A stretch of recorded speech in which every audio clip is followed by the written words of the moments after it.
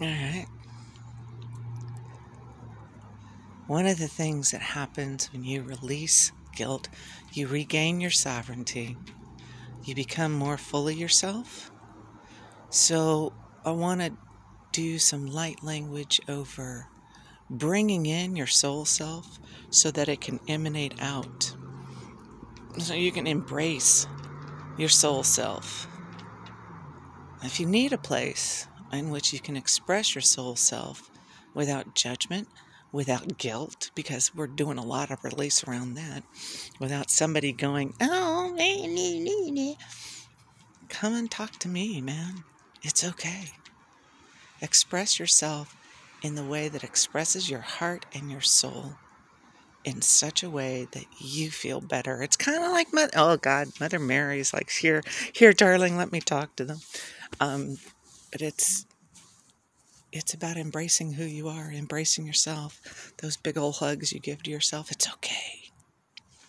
It's okay to give yourself a hug. And if you want, I'm happy to send hugs virtually, etherically, energetically. I'll set them up to be out there for you to receive when you're ready to, when you need one. Okay? Yeah, so this is this is gonna be a light language hug for you. You gonna come in for that, Cosmo?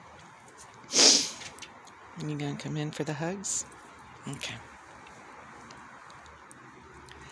Oh, nea, nea, ye, nea, na, he, na, na, fofima,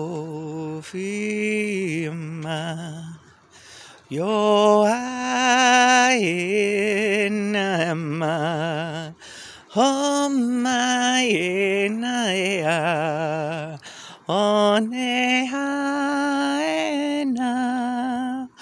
O kauma fuena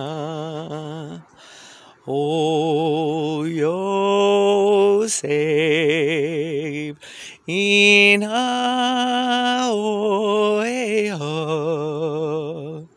O mane amaya aoyo